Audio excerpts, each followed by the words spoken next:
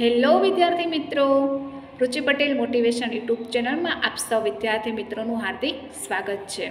વિદ્યાર્થી મિત્રો, આ વીડિયો બનાવવા પાછળનું કારણ એ છે કે ઘણા વિદ્યાર્થી મિત્રો પોતે ધારે એવું પરિણામ લાવી શકતા નથી અથવા તો પોતે સતત મહેનત કરે છે છતાં પણ તેનું રિઝલ્ટ છે એ નબળું આવે છે.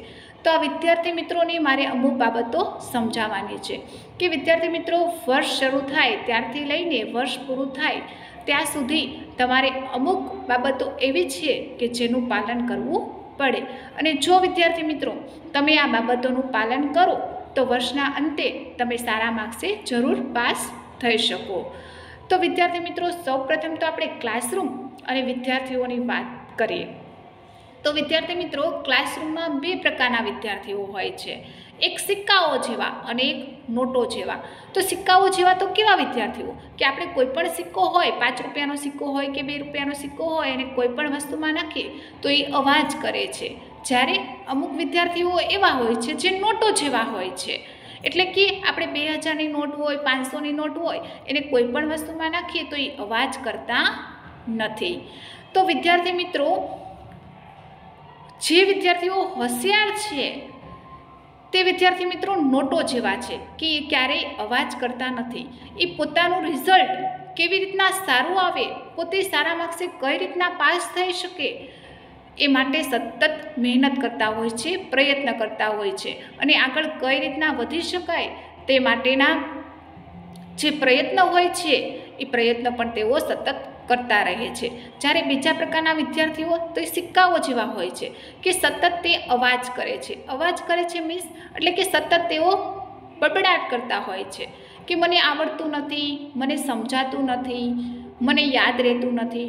તો આ વિદ્યાર્થી મિત્રોને મારે એટલું કહેવાનું છે કે વિદ્યાર્થી મિત્રો, આપણે બાળપણથી એક વાક્ય બોલતા આવીએ છીએ કે ગાય દૂધ આપે છે.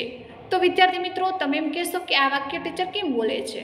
તો તમે બધા કહેશો કે આ વાક્ય સાચું છે કે ગાય દૂધ આપે છે. પરંતુ મારું કહેવું એવું છે કે આ વાક્ય ખોટું છે કે ગાય દૂધ આપે છે વાક્ય ખોટું છે. તમે બધા કહેશો કે કઈ રીતના? તો વિદ્યાર્થી મિત્રો, ગાય દૂધ આપે છે એ બરાબર છે. પરંતુ ગાય પાસેથી દૂધ મેળવવા માટે આપણે શું કરવું પડે છે? તો કે ગાયને દોહવી પડે છે. જ્યારે આપણે ગાયને દોહીએ છીએ, ત્યારે આપણી જે ડોલ હોય કે બોગડી હોય એમાં દૂધ આવે છે. એવી જ રીતના જો આપણે સારા માર્ક્સે પાસ થવું હોય, સારું રિઝલ્ટ મેળવવું હોય, તો આપણે વર્ષની શરૂઆતથી જ મહેનત કરવી પડે છે. કે વર્ષની શરૂઆતથી જ અમુક બાબતો એવી છે કે જે આપણે એનું પાલન કરીએ અને યાદ રાખીએ અને સતત એને અનુસરતા રહીએ, તો આપણને સફળતા જરૂર મળે છે. હવે દાખલા તરીકે વિદ્યાર્થી મિત્રો, ગાય દૂધ આપે છે, આપણે વાક્ય બોલીએ છીએ, પરંતુ ગાય દૂધ આપતી નથી. ગાય પાસેથી દૂધ મેળવવા માટે આપણે એને દોવી પડે છે. એવી જ રીતના નબળા વિદ્યાર્થી મિત્રોને મારે એમ કહેવું છે કે જે વિદ્યાર્થી મિત્રો એમ કહે છે કે મને લખતા નથી આવડતું, તો એને લખતા શીખવું પડે છે. વાંચતા નથી આવડતું, તો વાંચતા શીખવું પડે છે. યાદ નથી રહેતું, તો યાદ રાખવું પડે છે. સમજાતું નથી, તો સમજવું પડે છે. નથી આવડતું, તો એને શીખવાનો સતત પ્રયત્ન કરતો રહેવો પડે છે. તો વિદ્યાર્થી મિત્રો, જ્યારથી વર્ષ શરૂ થાય, ત્યારથી લઈને વર્ષ પૂરું થાય, ત્યાં સુધી તમારે અમુક બાબતો છે એનું પાલન કરવું પડે. તો તમે કહેશો કે કઈ એવી બાબતો? તો દાખલા તરીકે પેલું, કે તમારે ક્લાસરૂમમાં અથવા તો સ્કૂલમાં નિયમિત હાજરી આપવી. તો આનાથી શું થશે? કે જો તમે ક્લાસરૂમમાં નિયમિત હાજરી આપશો, તો કોઈપણ વિષય શિક્ષકે જે પણ સમજાવ્યું હશે, જે પણ ભણાવ્યું હશે, જે પણ લખાવ્યું હશે, એ જ્યારે તમે લખવા બેસશો સમજવા બેસશો યાદ રાખવા બેસો, ત્યારે તમને તરત જ યાદ રહી જશે. ત્યાર પછી બીજું છે કે વિદ્યાર્થી મિત્રો, દરરોજનું કાર્ય દરરોજ કરતાં શીખો કે ટીચરે જે વિષયનું હોમવર્ક જે દિવસે આપ્યું હોય તે દિવસે જ તેને પૂર્ણ કરો. જે દિવસનું વાંચન હોય તે દિવસનું વાંચન તે દિવસે જ પૂર્ણ કરો.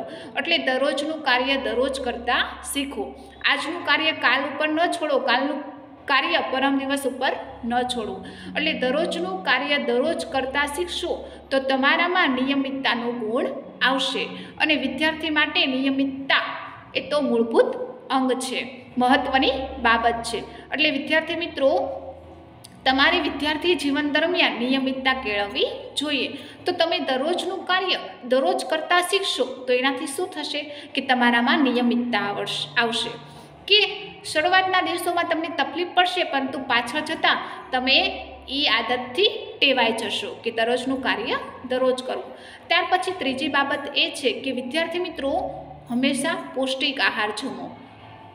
પૌષ્ટિક આહારથી શું થશે કે તમારી જે શક્તિ છે, તમારો જે વિકાસ થાય છે, તમારી બુદ્ધિનો જે વિકાસ થાય છે, એમાં તમે પૌષ્ટિક આહાર જમશો તો તેમને જરૂરી પ્રોટીન, વિટામિન કે જે પણ કેલ્શિયમની જરૂર છે એ પૂરતા પ્રમાણમાં મળશે.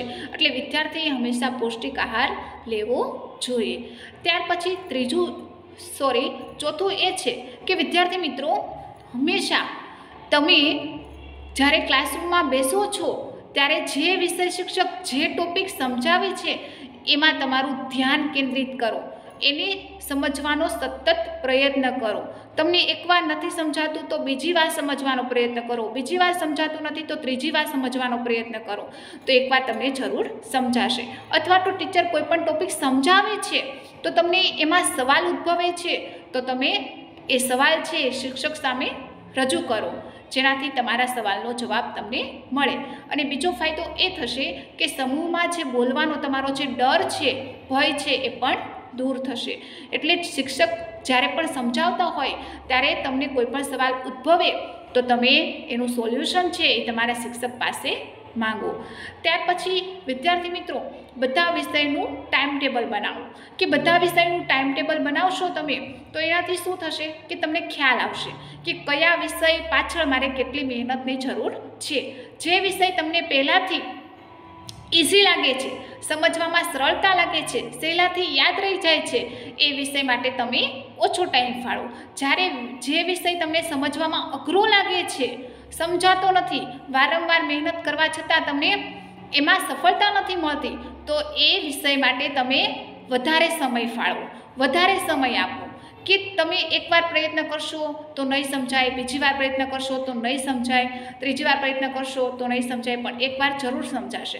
તો વિદ્યાર્થી મિત્રો, જે વિષયમાં જે ટોપિક તમને અઘરા લાગતા હોય, એ ટોપિકના મુદ્દાઓ છે તમે અલગ કાઢો. એનાથી શું થશે કે તમને ખ્યાલ આવશે કે તમને કેટલું નથી આવડતું અને કેટલું, કેટલા મુદ્દાઓ છે જેનું તમારે વારંવાર પુનરાવર્તન કરવું પડે એમ છે. તો વિદ્યાર્થી મિત્રો, તમે જોયું હોય તો તમે ક્યારેય શેરડીનો રસ પીવા ગયા હોય, તો ત્યાં જે રસ, રસવાળો હોય છે, એ શેરડી લે છે અને એને મશીનમાં નાખે છે. એકવાર નાખે છે એટલે એમાંથી રસ નીકળે છે. પછી ફેંકી નથી દેતો. પછી ત્યાર પછી બીજી વાર એને વાળીને નાખે છે. ત્યાર પછી ત્રીજી વાર વાળીને નાખે છે, ચોથી વાર વાળીને નાખે છે. જ્યાં સુધી એમાંથી રસ નીકળતો રહે છે, ત્યાં સુધી એને વારંવાર બેવડું કરી કરીને નાખ્યા રાખે છે, એવું તમે જોયું હશે. તો એવી જ રીતના વિદ્યાર્થી મિત્રો, એકવાર ચોપડી તમારા મગજમાં ઉતારો કે ચોપડીમાં જે લખેલું છે એને સમજવાનો પ્રયત્ન કરો.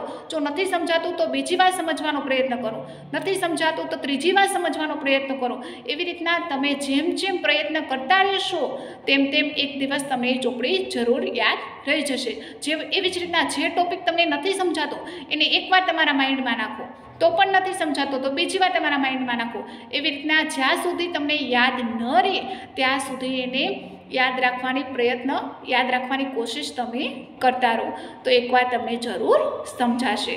ત્યાર પછી વિદ્યાર્થી મિત્રો ક્લાસરૂમમાં ઘણા વિદ્યાર્થીઓ એવા હોય છે કે ટીચર જે સમજાવતા હોય છે, એમાં એનું ધ્યાન કેન્દ્રિત થતું નથી. પરંતુ જે બીજી અલગ એક્ટિવિટી હોય છે, અલગ જે બીજા વિદ્યાર્થીઓ શું કરે છે, પેલો શું કરે છે, પેલો શું કરે છે, એમાં જ ધ્યાન હોય છે. પરંતુ વિદ્યાર્થી મિત્રો, તમારે એકાગ્રતા કેળવવાની જરૂર છે. એના માટે બને તો તમે સવારમાં પાંચ મિનિટ, ધીમે ધીમે દસ મિનિટ, ધીમે ધીમે પંદર મિનિટ ધ્યાન કરતાં શીખો. ધ્યાનમાં બેસતા શીખો. એનાથી શું થશે? શું થશે? તો એનાથી તમારી જે એકાગ્રતા છે, એ તમારી વધશે. તમારી જે ધ્યાન કેન્દ્રિત કરવાની શક્તિ છે, એ વધશે.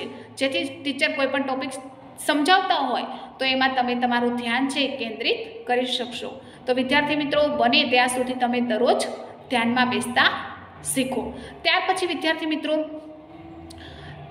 કોઈ પણ પરીક્ષા હોય દાખલા તરીકે વીસ માર્ક્સની પરીક્ષા હોય, નાની પરીક્ષા હોય અથવા તો કોઈ પણ પચાસ માર્ક્સની પરીક્ષા હોય, સો માર્ક્સની પરીક્ષા હોય, તો બધી પરીક્ષાને સરખું ઇમ્પોર્ટન્સ આપો. બધી પરીક્ષાને મહત્ત્વ આપો. દાખલા તરીકે તમે એમ કહો કે વીસ માર્ક્સની પરીક્ષા છે, એમાં કંઈ વાંચવાની જરૂર નથી. પચાસ માર્ક્સની પરીક્ષા આવે ત્યારે વાંચશું. સો માર્ક્સની પરીક્ષા આવે ત્યારે વાંચશું. પરંતુ વિદ્યાર્થી મિત્રો, બધી પરીક્ષાને તમે ઇમ્પોર્ટન્સ આપો. એનાથી શું થશે કે જો વીસ માર્ક્સની પરીક્ષા વખતે તમે જેટલું પણ યાદ કર યાદ રાખેલું હશે, એને જ્યારે સો માર્ક્સની પરીક્ષા આવે ત્યારે તમને યાદ રાખવામાં સરળતા રહેશે. એટલે કોઈ પણ નાની પરીક્ષા હોય, ટેસ્ટ હોય, તો એને તમે સરખું ઇમ્પોર્ટન્સ આપો, વધારે ઇમ્પોર્ટન્સ આપો. એનાથી તમારે શું થશે કે તમારી જે યાદશક્તિ છે એ પણ વધશે અને જે તમે વાંચન કરો છો પરીક્ષા માટે, ટેસ્ટ માટે, એમાં પણ તમારે છેલ્લે તમારે વર્ષને અંતે જે પરીક્ષા આવે એમાં વધારે વાંચન કરવું પડશે નહીં, અથવા તો એકથી બે વાર જોશો તો તમને યાદ રહી જશે. એટલે બધી પરીક્ષા હોય, ટેસ્ટ હોય, એને ઇમ્પોર્ટન્સ આપવું. ત્યાર પછી તમને કોઈપણ વસ્તુમાં આળસ થતી હોય, અથવા તો કંટાળો આવતો હોય, તો વિદ્યાર્થી મિત્રો થોડાક સમય માટે તમે મનોરંજન પણ કરી શકો છો કે થોડાક સમય માટે ટીવી જોઈ લો, મેદાનમાં રમત રમી આવો બહાર રમત રમી આવો. એવી રીતના વિદ્યાર્થી મિત્રો, તમને જ્યારે પણ આળસ આવે, અથવા તો લખવામાં મન ન લાગતું હોય તો થોડાક સમય માટે તમે તમારું મનોરંજનનું જે સાધન હોય એની સાથે પણ તમે રમી શકો છો. અને બને ત્યાં સુધી વિદ્યાર્થી મિત્રો મોબાઈલનો જરૂર પડતો જ વપરાશ કરવો જોઈએ. ત્યાર પછી છેલ્લો ટોપિક એ છે વિદ્યાર્થી મિત્રો કે ગોખણપટ્ટી ન કરવી. કે કોઈ પણ પરીક્ષાની તમે તૈયારી કરો છો તો એ પરીક્ષાની તૈયારી માટે તમારે ક્યારેય કોઈ પણ વસ્તુ, કોઈ પણ ટોપિક છે એ ગોખવાની જરૂર નથી. પરંતુ તમે એને ધીમે ધીમે વાંચો, ધીમે ધીમે સમજવાનો પ્રયત્ન કરો. એ ટોપિક છે એ શું કહેવા માંગે છે એનું તમારા મગજમાં, તમારા માઇન્ડમાં સતત ચિંતન અને મનન કરો. તો એ વસ્તુ તમને જરૂર યાદ રહેશે. તો વિદ્યાર્થી મિત્રો, તમે તમારી રીતે ટાઈમ ટેબલ બનાવો. વિષય વાઇઝ કયા વિષયમાં તમારે વધારે મહેનતની જરૂર છે? એ વિષય માટે તમે વધુ સમય ફાળવો. જે મુદ્દાઓ, જે ટોપિક તમને નથી ફાવતા, એ ટોપિક માટે તમે વારંવાર વારંવાર પુનરાવર્તન કરો. તો એ ટોપિક તમને જરૂર યાદ રહી જશે. તો વિદ્યાર્થી મિત્રો, તમે જે ટાઈમ ટેબલ બનાવો છો એ જ ટાઈમ ટેબલને તમે આખું વર્ષ અનુસરો અને એ પ્રમાણે તમે કોઈપણ વિષયની તૈયારી કરો, તો તમને અંતે સફળતા જરૂર મળે છે. વિદ્યાર્થી મિત્રો, આજના માટે આટલું. Thank you for watching.